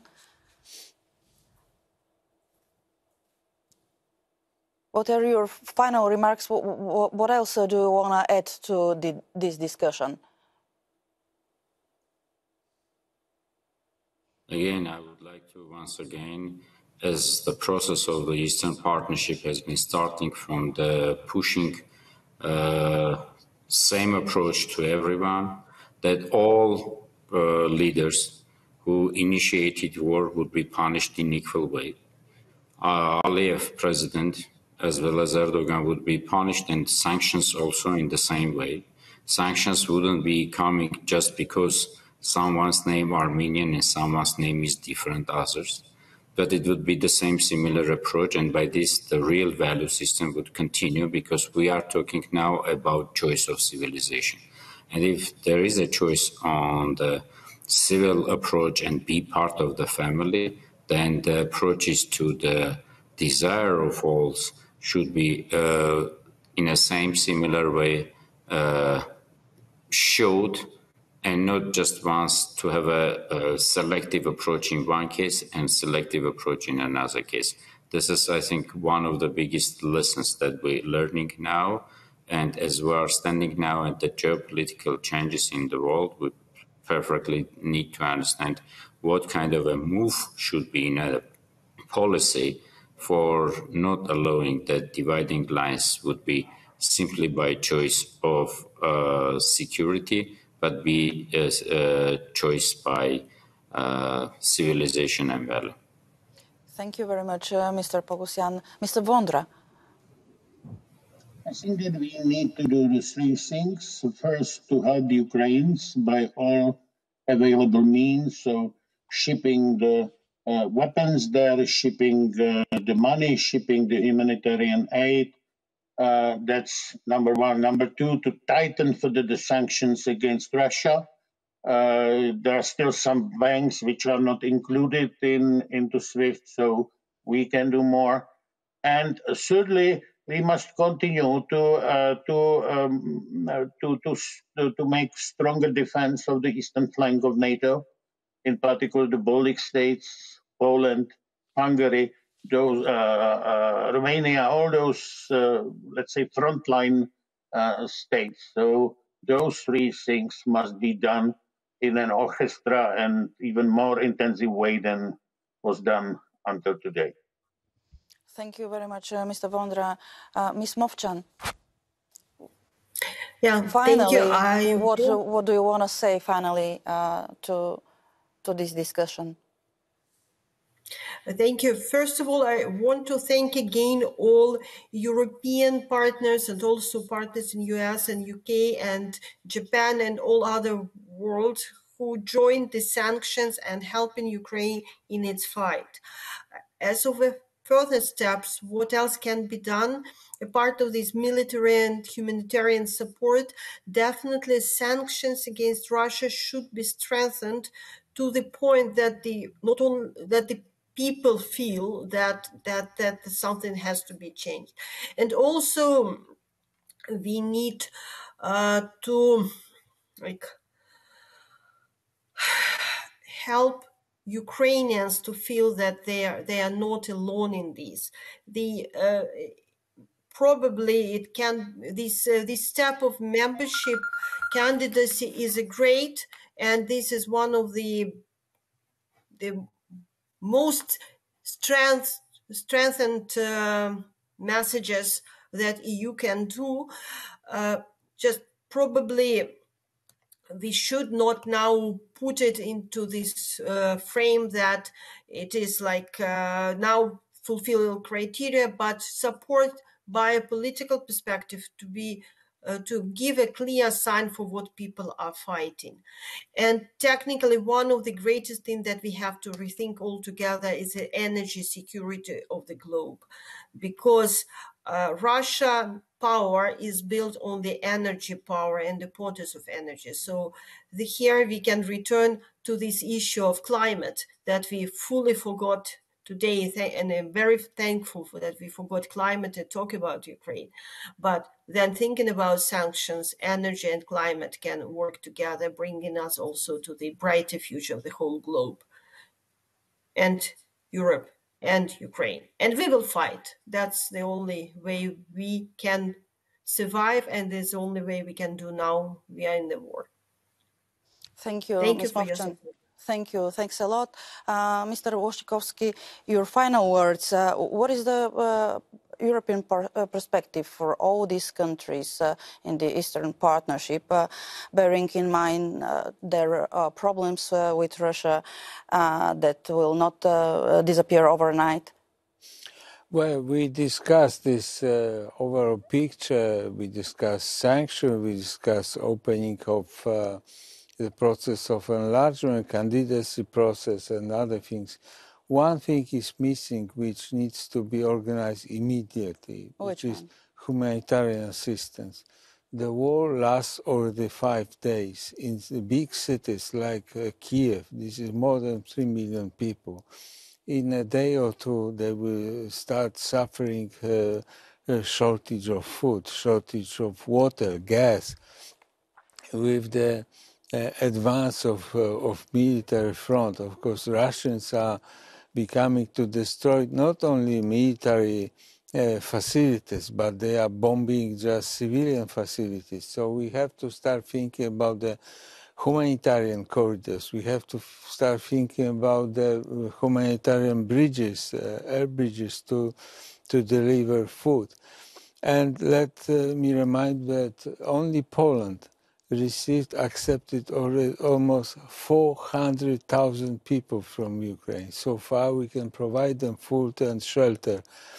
But uh, for the longer distance, uh, we have to organize the normal life for them. We have to send um, children to school. We have to send uh, uh older people to, to the job market. So this is the, the big um, task for the European Union, not only to fight, not only to rebuild Ukraine, but also to give immediate relief for these people who are suffering humanitarianly. Yes, uh, well, this is uh, uh, this is going to be a big process. How long will it take, according to you?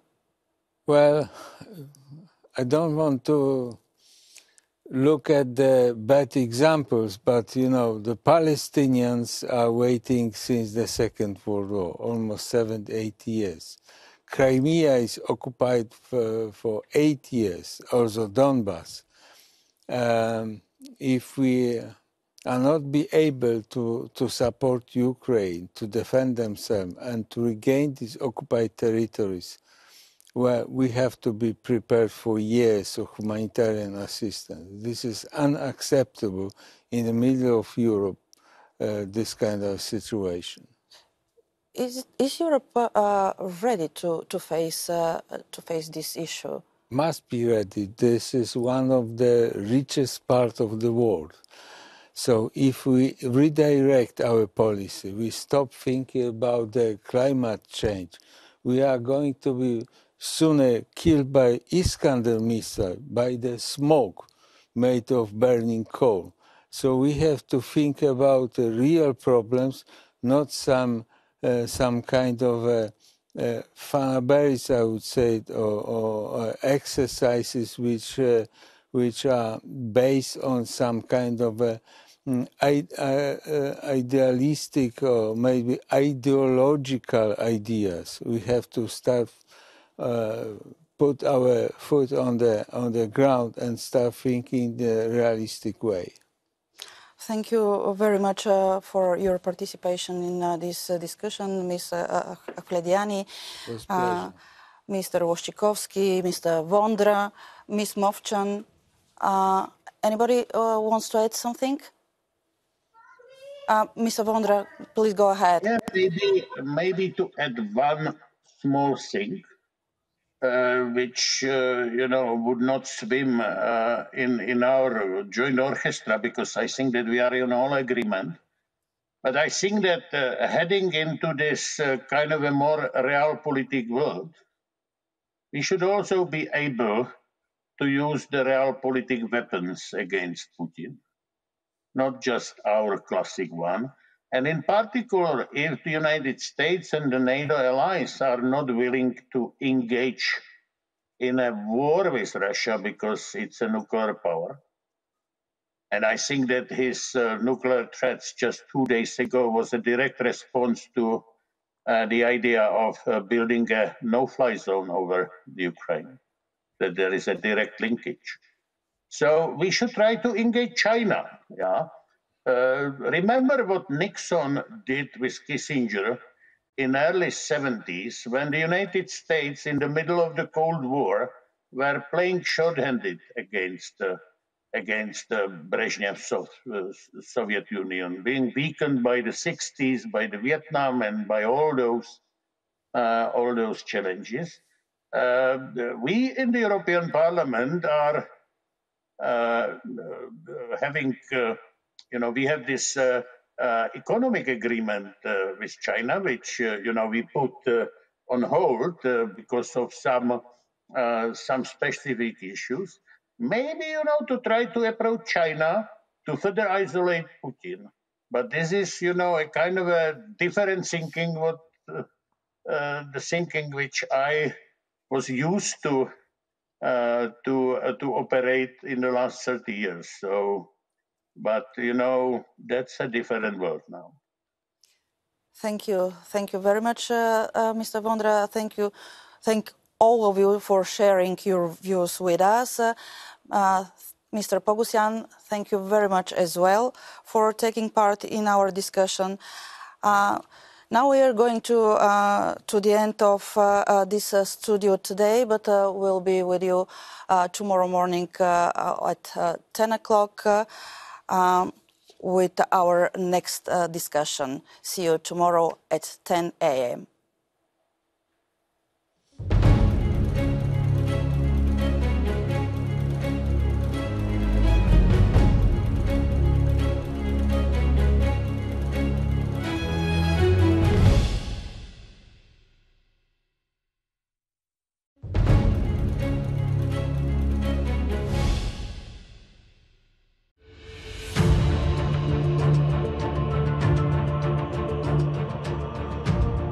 Varmt välkomna till Stockholm och SCR-gruppens turné för framtidens Europa. We started this ECR vision of Europe's future already six months ago. And we did it with one intention. Make sure that every citizen of each member state knows that there is an alternative future for European Union.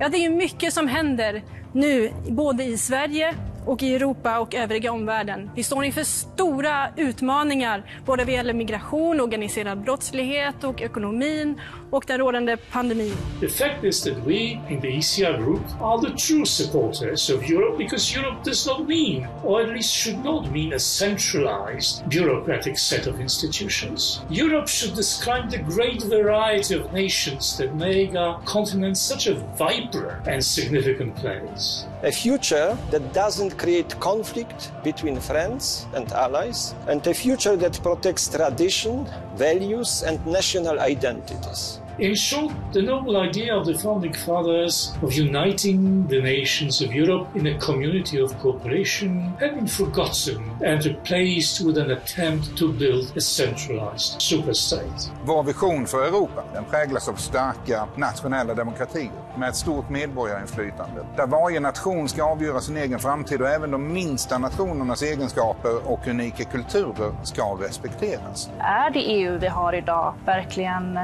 så demokratiskt demokratiskt som man vill att det ska vara.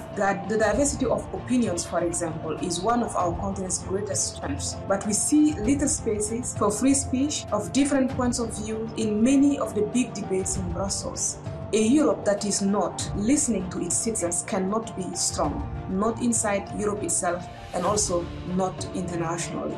Verder is denk ik nodig dat we het takenpakket van de Europese Unie heel goed afbaken. De Europese Unie moet zich alleen bezighouden met grensoverschrijdende onderwerpen. Bijvoorbeeld handel en migratie. Inom eh, invandringsområdet där vi definitivt ska bestämma det eh, själva hemma i vårt land, vad vi klarar av och vad vi inte klarar av. Så att nej, jag, jag ser, eh, alltså det, det går på fel håll. Man har stora ambitioner och den konservativa rösten den behövs mer än någonsin. Och... So in this would be the first one I would say the EU needs to come with a plan to stop not only on documents but in reality with actions to stop the human smugglers, to have negotiated return policy to third countries to stop the boats from departing. Och där även de här mer vänsterliberala partierna ändå fick upp ögonen för att det finns en gräns för vad vi klarar. Vi har ju sagt det länge. Sen förstår jag att vi behöver ha samarbeten eftersom vi ändå har en yttre gräns och så. Då tycker jag det är viktigt att vi gör gemensam sak för att, att hålla den gränsen. Vi ser ju samarbetet i Europa som självklart. Samarbeta kring handel, samarbeta kring eh, miljöproblem som ju inte känner några gränser. Det är svårt att bekämpa miljöproblem bara i ett enskilt mm. land. Eh, internationellt organiserad brottslighet är också en sån sak där vi måste samarbeta och där EU fyller en funktion kriminaliteten som tyvärr ökar för oss nu mycket tack vare, eller tack vare på grund av att vi har den fria rörligheten inom EU och bristande gränskontroller. Och det här har ju gjort att vi ser en ökad eh, gränsöverskridande kriminalitet i Sverige, vapensmuggling och så vidare. Och även tullen har ju en väldigt viktig roll som skulle kunna göra mycket mer än vad de kan göra idag. Man låser sitt hem om natten därför att man hatar alla människor som finns utanför ens hem. Man låser sitt hem om natten därför att man älskar sitt hem, framförallt därför att man älskar de människor som finns inuti det här hemmet. Lösningen är, det är att vi alla tar ansvar som nationer genom att stärka våra respektive länders eh, rättsväsenden och använda det som en utgångspunkt för samarbete. Vi behöver ju vrida hela EU-projektet tillbaka till grunderna och grunderna är ju egentligen den inre marknaden, fri handel, fri rörlighet av, av eh, varor och tjänster och kapital och så vidare. Det, det är liksom grunden. Europas länder har hittills haft ett bra samarbete sinsemellan utan överstatlighet och utan att Bryssel har lagt sig i. Varför ska vi gå ifrån ett fungerande koncept genom att ge mer makt och centralisering till EU? Our idea is to stimulate a new debate, to offer a new hope for Europe, to discuss ways we can put our national democracies back at the heart of the European idea.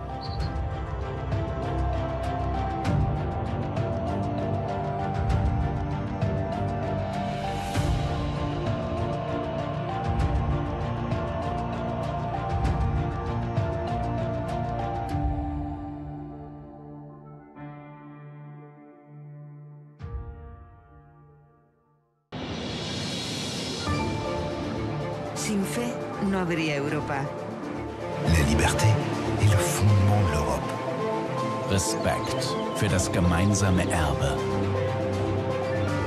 Tradition binds our continent. Non c'è valore più importante della famiglia. Europa jest dobrem wspólnym. Różnimy się, ale powinno nas łączyć wspólne dziedzictwo. Powróćmy do Unii Europejskiej, która z tego dziedzictwa wyrasta i która szanuje narodowe tożsamości. Only the European Union without arrogance, based on solidarity and mutual respect for its member states, can regain the support of the European nations. We can do it together.